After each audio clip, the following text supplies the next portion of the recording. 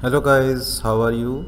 Today i will tell you about arcs arcs chain is a new word token. A array is the word which varies human value can be turned into asset and used as a social resources. Arcs is a token issued to make its construction faster this is listed on KuCoin and uh, more exchanges. To realize this non-centralized system, we will operate it in unique way. Settlement token, governance token and utility token will also be issued. Please enjoy the new world which is full of fresh value and lighted up by ARCS. You can check out their detail. Issuer IFA Co Limited token name ARCS token symbol is ARX total supply is 400 million. Updated on 21st May 2021 decimal are 18 blockchain platform is Ethereum.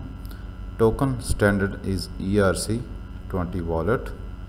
Uh, contract address is this. You can check out their white paper. You can more uh, check out about company.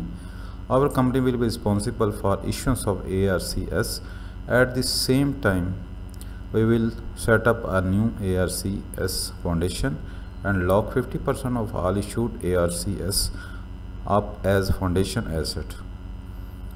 As a result we are going to build a third party system which can use asset efficiently for society and user instead of centralized token management IFA pledged to di dilute centralized central and contribute the whole society.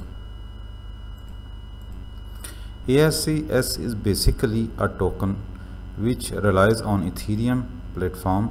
However, the operating situation of the Ethereum platform is about to reach its limitation which has proved alarm about its future prospects of course there is still a great chance of improving the situation.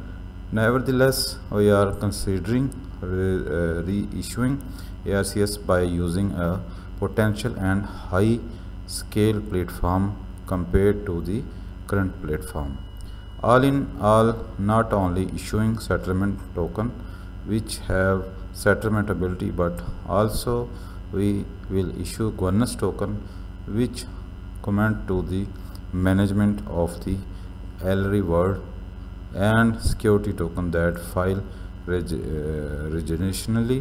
we will do our best to develop ARCS because it will contribute to the new world company names RVFA company magazine Makazu you can check out more about ARCS uh, their white paper. You can check out more details and you can check out other things.